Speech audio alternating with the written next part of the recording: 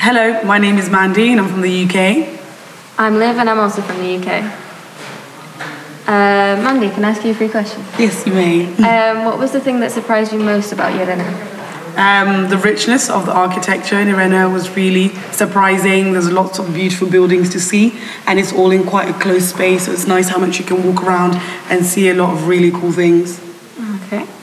Um, how would you describe Llerena to your family when you get home? It's quaint, quiet, and charming. Nice.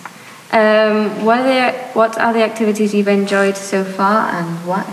I really enjoyed going to visit the mine because it's not something that I would do at home and it's not something that I personally maybe put on a holiday itinerary. But there was a lot of interesting things to see and to learn about the history and to see how like the nature has come back after the mine has gone back. That was really interesting.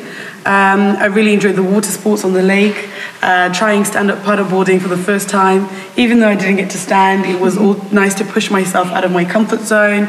And um, yeah, I really enjoyed the night of food as well from the different restaurants. Um, being in the building and having that dining setup was really, really special. Okay.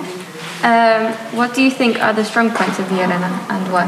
Um, the architecture is fantastic, lots to see, um, lots of history embedded here. There is also, um, it's quiet and it's charming. The people are very, very welcoming. Um, there's good links to other big cities, so you can come here uh, for a few days and really experience Spanish culture and village life whilst you're planning a bigger trip around Llerena, around Spain. How would you improve this city to make it even better? Mm, um, I will speak just from my perspective. I think having signs around, maybe in different languages. So when we went to the museum, it was nice to walk around, but I wasn't able to read anything. So maybe an app or a, a digital platform where I can download some of the readings online so that I can actually understand and get to know a bit more about the history and culture of this wonderful, wonderful village. Uh, bye!